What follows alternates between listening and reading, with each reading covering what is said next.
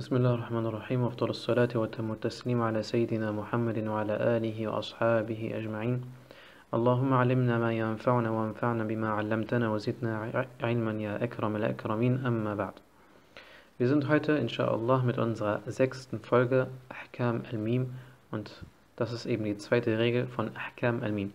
Die zweite Regel ist Al-Idram al-Shafawi. Al-Idram al-Shafawi. Al-Idram al-Shafawi ist, wenn ein Mim Sakin da ist und danach ein Mim ist, also Shadda wird.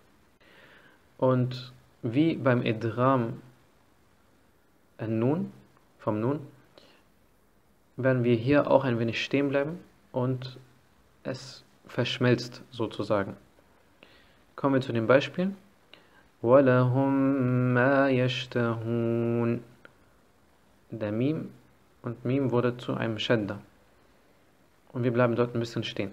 وَلَهُمْ مَا يَشْتَهُونَ Und genauso beim nächsten. خَيْرٌ أَمْ مَنْ أَسَّسَ خَيْرٌ أَمْ مَنْ أَسَّسَ Und somit sind wir mit unserer Folge zu Ende. Alhamdulillahi Rabbil Alamin.